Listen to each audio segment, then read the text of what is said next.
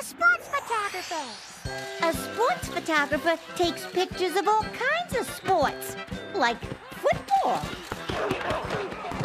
Oh, oh, smile.